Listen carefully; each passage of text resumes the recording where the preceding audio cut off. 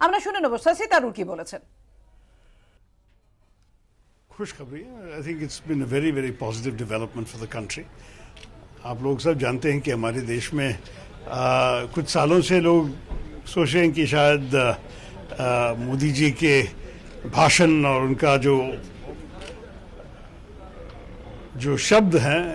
लोग उस पर पूरा भरोसा करके उनको आगे आगे सपोर्ट दे रहे हैं लेकिन अभी क्लियर हो गया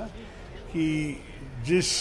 तरह की जुमलेबाजी हमारे देश में देखे हैं, लोग ये समझ लिए कि इसमें असलियत नहीं है।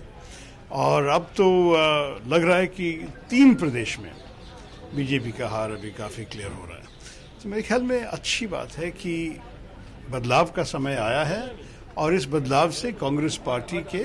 जो पॉजिटिव प्रोग्राम्स है देश के लिए, हमें लोगों को सामने दिखाने का मौका मिला है। मेरे ख्याल में ये तो राहुल गांधी का विजय है और कांग्रेस पार्टी का संदेश लोग समझ रहे हैं। और ये संदेश का ये जो मेघदूत है, ये तो अपना राहुल गांधी है, उनको क्रेडिट देना चाहिए।